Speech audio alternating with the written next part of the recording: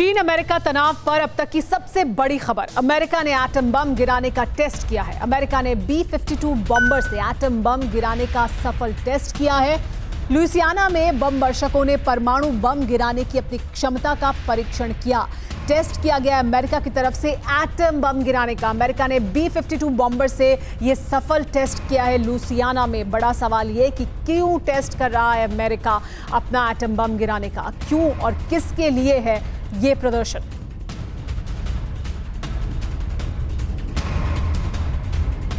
तो चीन अमेरिका तनाव पर यह सबसे बड़ी खबर है।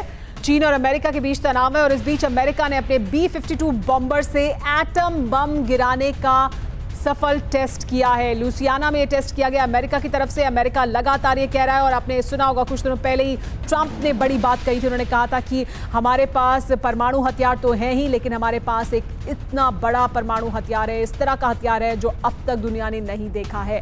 और अब बी फिफ्टी टू बॉम्बर से एटम बम गिराने का सफल टेस्ट भी किया है। अमेरिका ने क्या चीन की परेशानी और बढ़ने वाली है? क्या इसी वजह से जिनपिंग इतने परेशान हैं? परवाह देश की। सोमवार से शुक्रवार रात 10 बजे टीवी 9 भारतवर्ष पर।